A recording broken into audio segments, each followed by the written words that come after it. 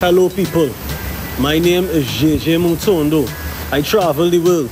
If you are planning a trip to Barbados, you're gonna need to know what to do and what not to do. I'm gonna show you five things that you should do and five things that you should not do. So watch to the very end to be fully prepared for your trip in Barbados, right? Now before we continue, you have to do me a favor. Like this video and subscribe to my channel. So yeah, let's go. Let's start with what you should do. Number one, save your money and have a budget. Barbados can be expensive to some people. So you're gonna have to make sure you come here with a decent amount of money and you have a budget in mind according to what you want to do, what you want to see, what you want to eat, what you want to drink, where you want to go, the adventures, the gas, wherever you're going to be staying. You have to have all these things prepared, you know. Number two, rent a car. It makes things way easier because there's no Uber in Barbados. Taxis can be very costly, and also the public transportation. Some visitors find it confusing, you know. Now you have to keep this in mind though. In Barbados, you drive on the left of the road, and the steering wheel is in the right of the car. You have to understand that before you come here. That may be different for some of y'all, you know. So keep that in mind. If you're going to be driving in Barbados, be aware that there are lots of roundabouts. Become very aware of how to operate with the roundabouts. It's simple, but just make sure that you understand it. Number three, always walk around with cash. Some places in Barbados are cash only. They don't accept card, Venmo, Cash App, all nah. Walk with cash, and I'd suggest you walk around with Barbados dollars, right? Number four, get repellent. Understand the mosquitoes here are relentless, they're raucous, they're hungry, they're savages. Avoid these mosquitoes at all costs, people. These mosquitoes are public enemy number one over here. Trust me, I hate them mosquitoes, man. And also get one of those electric rockets, man. Go feather on them, man. Back on, yeah, man. You come in here, Wimbledon, boy. Yeah, smack them, man. And when you smack them, they're gonna start shaking and you know what I mean? It's gonna smell like if you're doing barbecue. Cook them, man.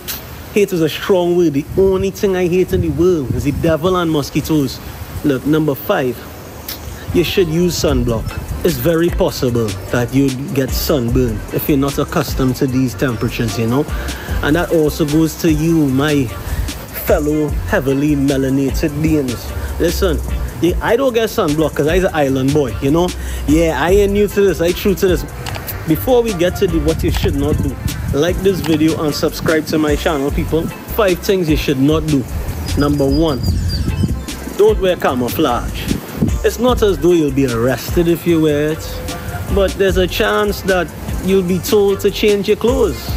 You know, I just recommend you don't. If you do, just be prepared to change into something else, you know. Number two, do not pet the wild monkeys.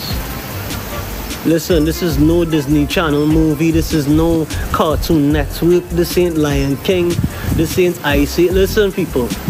These monkeys ain't no fairy tale beings. This is this is real life, people. Don't be running out here trying to pet monkeys and give them bananas like they're your friends, bruh. These monkeys ain't your friends, bruh. Leave these monkeys alone for real. If you want to pet them and feed them, go to the wildlife reserve or go to Welchman Hall Gully. Don't be out there trying to play like use Dr. Dolittle or something, bruh. Number three, don't, don't, don't, and I mean don't, under any circumstance, litter. You're coming to Barbados because you think it's beautiful and you think it look nice on the internet and you've heard great stories and you've heard how clean it is and how blue the waters are. So keep it that way. Don't be going to Barbados to litter and pollute the environment, bro. What's wrong with you? Number four, listen, do not touch the manchineel trees. Stay away from the fruits and just don't touch them, right? When it rains, do not be under the manchineel tree. They're very toxic and poisonous.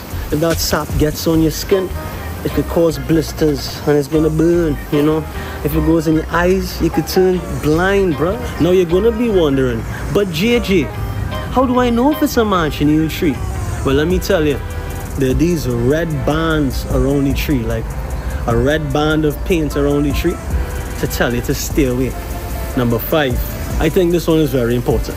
Now, the fifth thing that you should not do is take the safety for granted. It's a very safe country, it is, but you know, everywhere is gonna have crime. Operate in a smart way, people, you know. Look at the times you're out, look at the areas you're in, look at who's around you, you know what I mean? Don't be at the beach and sit at certain times in certain places. Move correctly, man. Like for real, you come in here, you wanna have the best time of your life and you wanna go back to wherever you come from, right? In one piece. There's only one way to do that. Keep yourself safe, you know. So still move with caution. Operate smartly. Don't take the safety for granted, you know. Talked about all this stuff.